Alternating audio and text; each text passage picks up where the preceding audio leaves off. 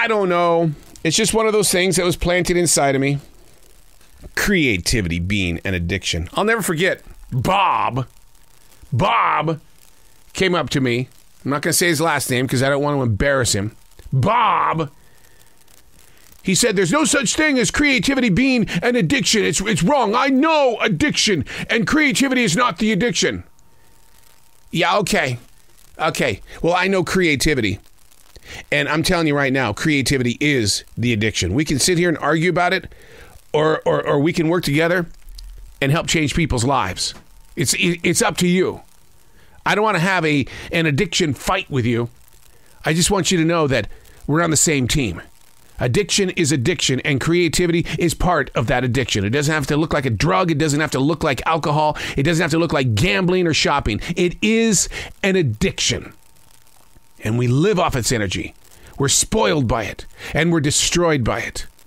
So let's like move through this storm and let's be healed by it. Unplug because we will always say yes to creativity, totally uncut, because we all make mistakes.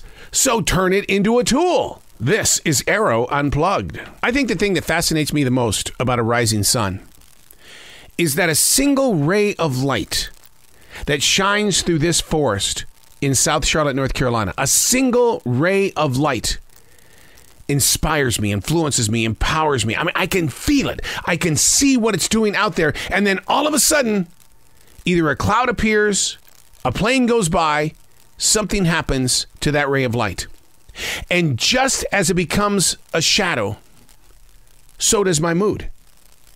I am so affected and infected by these rays of light. I love to have the sun just bring out its energy in ways that reach beyond the everyday world. Sure, it's a form of spirituality to feel the presence of the universe always moving through you.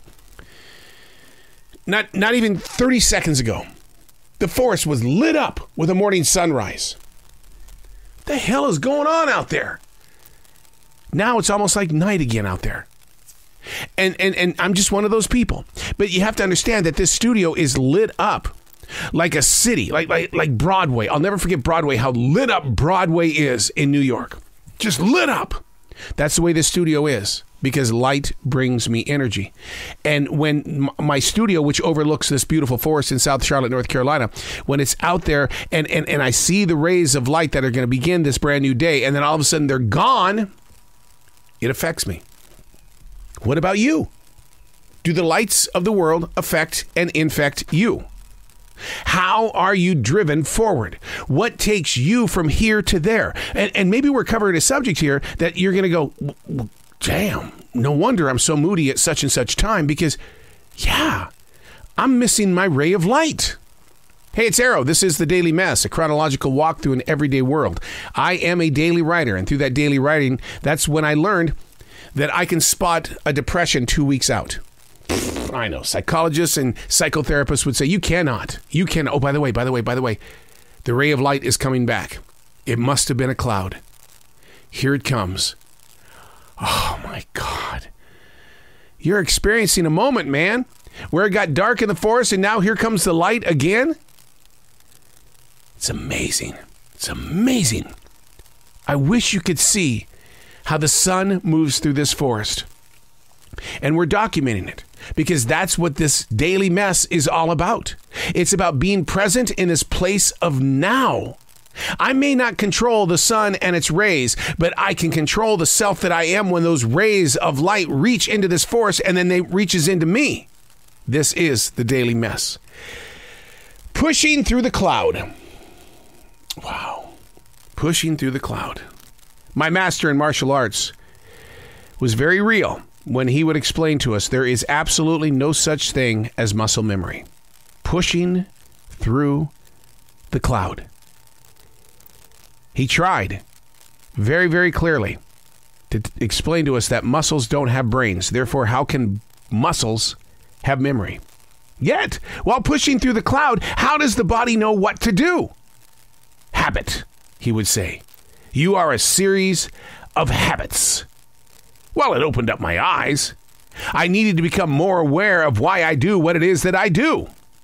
like looking at rays of light through a forest in South Charlotte, North Carolina, and letting it infect me in ways that I really thought I could control, but obviously not today because when I went into the darkness in the forest again, I was like, what is going on here?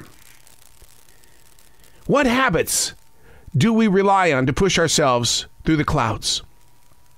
Now, I'm going to publicly admit here that daily writing is, is a habit to me puking up all these thoughts onto a clean sheet of paper. Who in the God's name does that kind of stuff? That's constant behavior every day, words on a page. Why? Then the question is could I live without the writing? Um, I don't want to find out. Is that okay? Doesn't that make it an addiction? I mean, I've always called it a daily discipline. Why isn't it an addiction? Should it be wearing a different description? This cloud, this mountain, walls everywhere. Your life, my life, the world, the universe, walls. Whatever is required to make this great and not just okay. That's how we have to make our way through this cloud. Don't make it an okay day.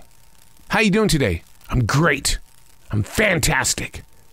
That's the only change you got to make. Cuz what sounds better? How you doing today? I'm okay. What? Okay? You're just okay? I don't want to hang out with somebody who's just okay. I want to hang out with somebody that's great. Fantastic. Mindset control. Knowing that winning is always a choice. Oh, I, I, should give you an update on the sun. It's gone again. But winning is a choice.